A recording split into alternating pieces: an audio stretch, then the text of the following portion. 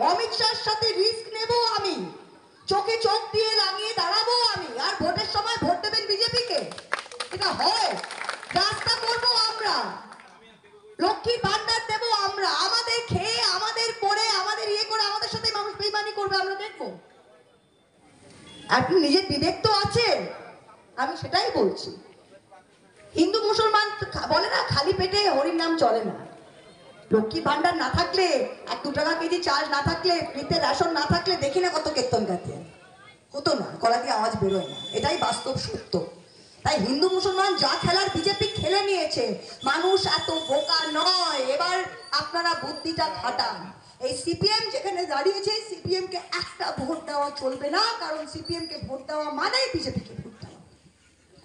এবার Betua one, two, panchayat, আমার চাই চাই চাই চাই চাই চাই।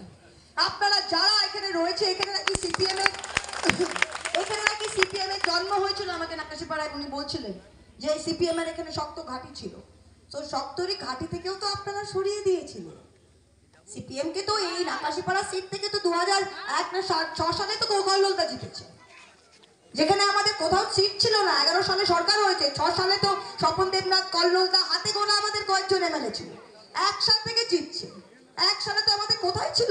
তিনটে এমএলএ ছিল, চারটে এমএলএ ছিল, সারা পশ্চিম বাংলায়, তৃণমূল কংগ্রেসে। তার মধ্যে থেকে আপনারা দিয়েছেন। তো সেই জায়গায় দাঁড়িয়ে বেতুয়া আমাদের নাকাশিপাড়ার হেডকোয়ার্টার এটা লজ্জার বিষয়। লজ্জার বিষয় যে বেতুয়া ওয়ান টু আমাদের সব প্রোগ্রাম বেতুয়াতে হয়। সব কিছু বেতুয়া সেন্ট্রিক বেতুয়াতে রেল আছে, রাস্তা আছে, সব কিছু সুযোগ সুবিধা পৌঁছে দেওয়া হয়ে গেছে। একশো দিনের কাজ হয় না বেতুয়াতে, কারণ গ্রাম্য এলাকায় নেই, সব তো টাউন সব তো টাউন পেরি আরবান হয়ে গেছে।